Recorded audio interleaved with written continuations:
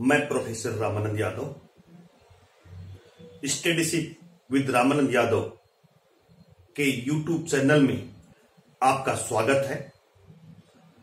आज हम आपको लिक्विड क्रिस्टल के क्लासिफिकेशन के बारे में बताएँगे।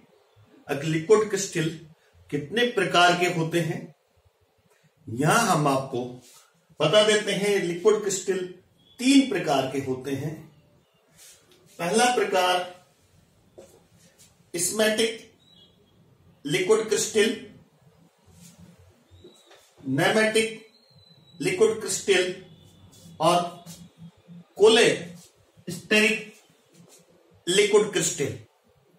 इस तरह हम लिक्विड क्रिस्टल को तीन भागों में बांट सकते हैं। तीन प्रकार का वर्णन करेंगे। यहाँ जो समझने जा रहे हैं, ये अणुओं की व्यवस्था के आधार पर। क्लासिफिकेशन किया गया है। अब आज हम आपको बताने जा रहे हैं smectic liquid crystal smectic liquid crystal क्या होते हैं, ये हम आपको बता रहे हैं। ये समझ गए आप? स्मेटिक नेमेटिक और कोलेस्टेरिक लिक्विड क्रिस्टल तीन प्रकार के होते हैं। आज हम आपको उन्हें बता दें। स्मेटिक लिक्विड क्रिस्टल के बारे में बता रहे हैं। स्मेटिक लिक्विड क्रिस्टल क्या होते हैं? स्मेटिक लिक्विड क्रिस्टल में जो अणु होते हैं, वो समांतर क्रम में व्यवस्थित होते हैं। कैसे? समांतर क्रम में व्यवस्थित होते हैं और व्यवस्थित होकर वो परत बनाते हैं, लेयर बनाते हैं। अणु है, समांतर क्रम में व्यवस्थित होंगे और परत बनाते हैं। ये परतें एक दूसरे से नियमित दूरी पर होती है। जो भी परत मान लीजिए एक परत, दूसरी परत, ये क्या है, एक निश्चित दूरी पर होती है। तीसरी परत, चौथी परत। इस तरह से ये परतें नियमित दूरी पर होती हैं।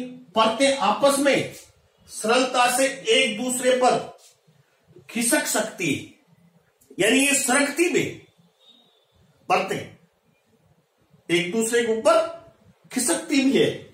इनमें अणुओं की जो क्रम रहता है ऑर्डर के अनुसार होता है। एक अणु, दो अणु, तीन अणु, प्रत्येक परत की बातें हो रही है। प्रत्येक में जो अणु होते हैं परत में, वो क्रम अनुसार होते हैं। परत बन गए एक परत, इसी तरह से दूसरी परत, तीसरी परत, ये परतें आपस में खिसकती भी और ये एक दूसरे की निश्चित दूरी पर होती है। इसके लिए हम आपको चित्र दिखाएँगे। अब और आगे बताने जाएँगे स्मेटिक का अर्थ क्या होता है? स्मेटिक एक ग्रीक शब्द है, यूनानी शब्द है, जिसका शाब्दिक अर्थ सोप लाइक। सोप टाइप कह लीजिए, सोप लाइक कह लीजिए, साबुन जैसा। मैं जिस तरह से साबुन की परतें, ये ना, एक दूसरे पर खिसकती है।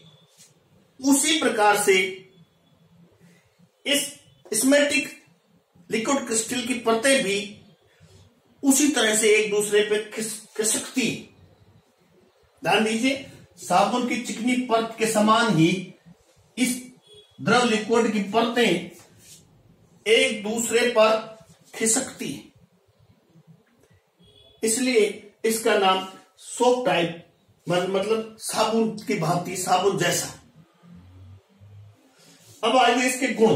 कौन कौन सी प्रॉपर्टी है? कौन कौन से गुण है? इस बारे में हम बताएँगे स्मेटिक लिक्विड क्रिस्टल में कौन कौन से गुण होते हैं। जो पहले बताने जा रहे हैं, ध्यान दीजिए जो श्यानता होती है तो श्यानता की जो जनरल कंसेप्ट है, सामान्य धारणा है, जो सामान्य द्रोण पर लागू होती है, यहाँ ये सामान्य धारणा इस पर लागू नहीं होती। क्योंकि सुन लीजिए कारण, क्योंकि विभिन्न परतें एक दूसरे के ये विभिन्न परतें के जो खिसकती है, सरकने का वेग सामान्य द्रव के वेग के समान नहीं होता है। जो परतें हैं, जो खिसकती है एक दूसरे पर, इनका वेग जो सामान्य द्रव की परतें हैं, उनके वेग के समान नहीं होता। इसलिए श्यानता की जो सामान्य कंसेप्ट है जनरल कंसेप्ट है, इन पर लागू नहीं होता है। पहला। दूसरा, इन द्रव क्रिस्टलों में न्यूटनी प्रभाव नहीं पाया जाता है। दूसरी प्रॉपर्टी तीसरी, ये मतलब स्मेटिक लिक्विड क्रिस्टल एनाइसोट्रोपिक गुण दर्शाते हैं। विषम दैशिकता का गुण दर्शाते हैं। विषम दैशिकता के बारे में जानते हैं जो भौतिक गुण का मान सभी दिशाओं में भिन्न भिन्न थे।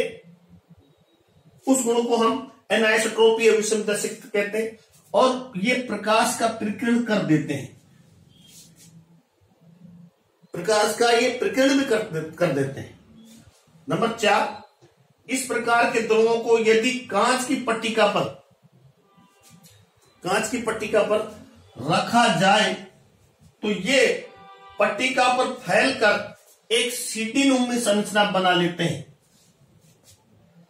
जब इन, इस प्रकार के लिक्विड क्रिस्टल को हम किसी कांच की पट्टिका पर रखते हैं तो ये पट्टिका पर कांच की पट्टी पर एक सीटी नुमा संरचना बना लेते हैं, जो चित्र में दर्शाया गया है। चित्र देखेंगे। अगला गुण ये हमेशा अक्षय होते हैं। ये liquid crystal, smectic liquid crystal और चुंबकीय क्षेत्र से प्रभावित नहीं होते मैग्नेटिक फ़ील्ड से ये प्रभावित नहीं होते हैं।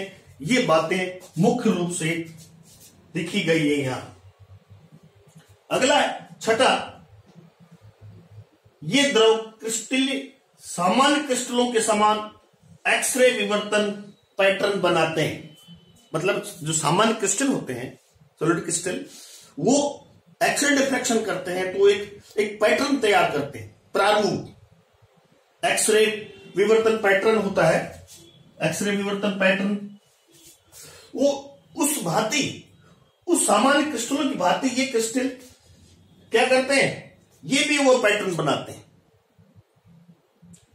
पुनः सुन लीजिए, ये द्रव क्रिस्टल सामान्य क्रिस्टलों के समान एक्सरे विवर्तन पैटर्न बनाते हैं। अगला सात नंबर है स्मेटिक लिक्विड क्रिस्टल का प्रवाह सामान्य द्रवों की भांति न होकर परतों के रूप में होता है। जिस प्रकार से सामान्य द्रव बहते हैं, उस रूप में ये लिक्विड क्रिस्टल नहीं बहते। क्योंकि ये तो परतों में बहते हैं।